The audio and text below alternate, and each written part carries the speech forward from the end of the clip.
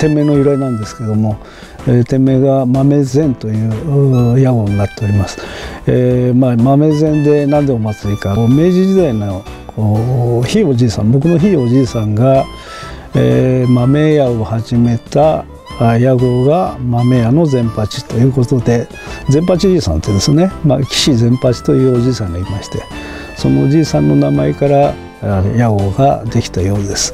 でまあもともとスタートは豆屋だったんですけどもその後に、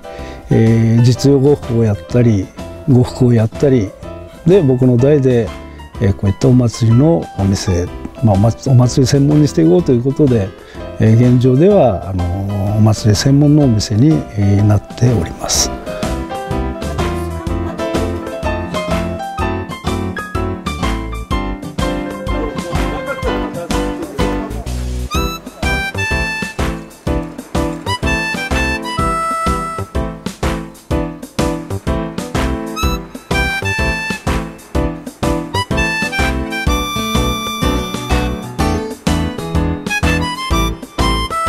でやっぱりお祭りに関わる人たちっていうのはどうしてもオリジナルもう自分のものが欲しいというのが基本根本的にありまして、えー、いろいろこう団体でものを発表作ったりするんですけどその中でも個性を出したいそういうところが原点にあります。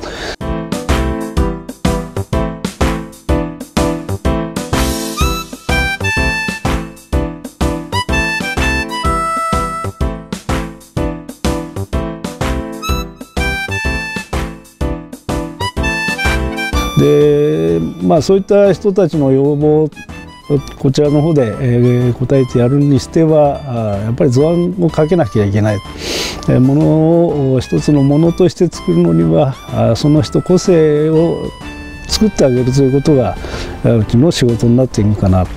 まあ、レタリングを始めて、えー、こういったハッピーのデザインとか手拭いのデザインとかのれんのデザインとか、まあ、そういうものに、えー、だんだんだんだんまあ、こう入り込んでいったというのが今現状にありましてそれが専門にお店お祭りのものを専門にやれるお店にこうつながってきたのかなと思いますね。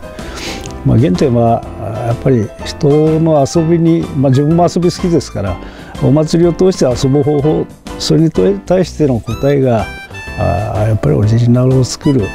元になっているのかなと思いますね。